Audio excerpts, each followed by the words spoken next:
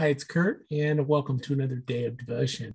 As we finish off this week, uh, we got maybe your favorite devotional ever.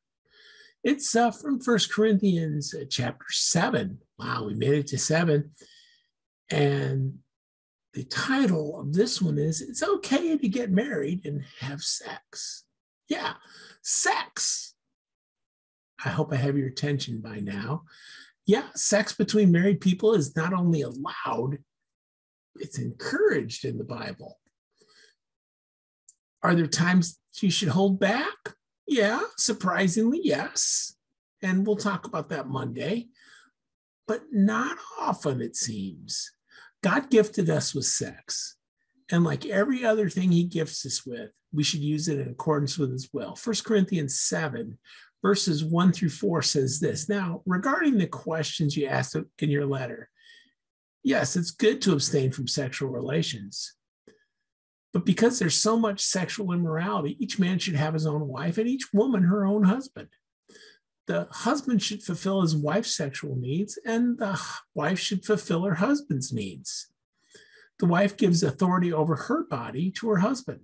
The husband gives authority over his body to his wife.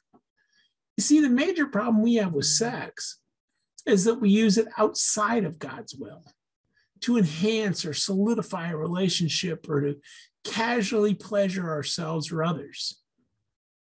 Because the husband wife union is a picture of the kingdom of God, sex outside that union is just wrong. You can only unite by following God's will.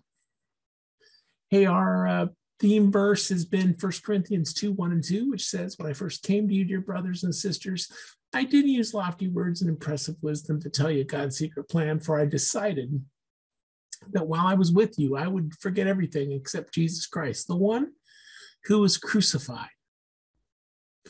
Well, this has been one, you know, I'm sure you've been going to yourself, I can't wait for his devotionals about sex. um, me neither. Hey, uh, it's just part, another thing in God's plan, which is kind of awesome. Father, we love you. We're thankful for everything you give us, including sexual relations. And I'm thankful, especially for my wife. And I'm thankful for a time to uh, to just think about the things that you give us and that you we use and that you use to tell us about yourself. It's in Jesus' name we pray. Amen. Hope you have a great weekend, guys. Uh, we're just at City Campus a couple more weeks, so come visit us this weekend if you're around. It's at um, where is it? 1710 East 10th Street. They're in Jeff, uh, inside Maxwell's House of Music. 9:30 is when we are having church on Sunday. We'd love to have you. Otherwise, uh, we will uh, talk to you sometime. Oh, by the way, they're also having it, of course, at 9 and 11 at Eastside Christian Church on Veterans Parkway there in Jeff, so you can go there too.